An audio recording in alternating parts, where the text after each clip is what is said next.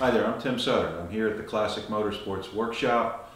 This is our 57 Triumph TR3 race car.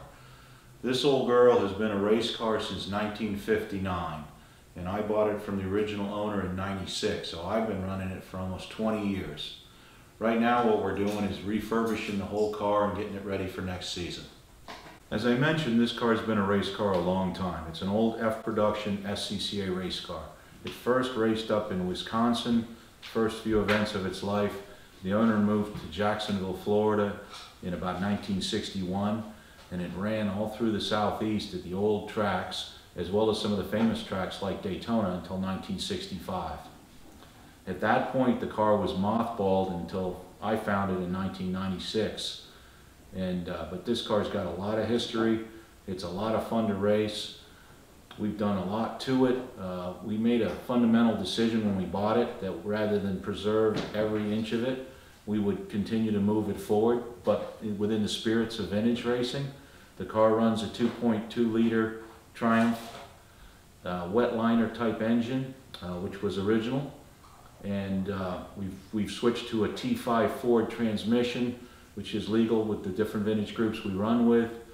And uh, this car is, was, we started at the back of the pack and we've moved it through the middle and now we run, uh, thankfully, up towards the front of the pack with this thing when we run it. We went run a modern Hoosier Speedstar. It's, it's a vintage race tire, but it's obviously a modern compounding. It's a 185 65 15 and we run it on a five and a half inch wide Panasport wheel. We've got two sets of these, so if we run low on tires, which is, as you can see, this one's about done, uh, we can switch them over at a race weekend. Um, suspension wise, this is uh, largely TR3. We have switched to TR6 calipers. We run Koni shocks. We run a ball joint from a Jaguar, uh, stiffer coil springs. Things have been reinforced a little bit, but essentially this is the way this car ran in the early 60s. Uh, we have upgraded these beautiful new alloy hubs. This is one of the things we're doing this week. And these are from Richard Good. And what they do is strengthen the front end so you have less chance of breaking a spindle. They're also a little lighter, which makes the car that, that much quicker. Well, we don't really want to ruin the patina of this old race car, and much of this paint is original from when it was raced in the 60s. Uh, the interior is getting a little shabby. So we're going to clean things up a little bit and we're in hopes we can have everything back together in about the next 30 to 60 days and have this thing ready to race next season.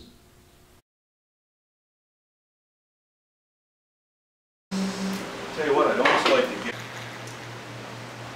What we have here today is a 1964 Lotus Elan Series 1. This thing has been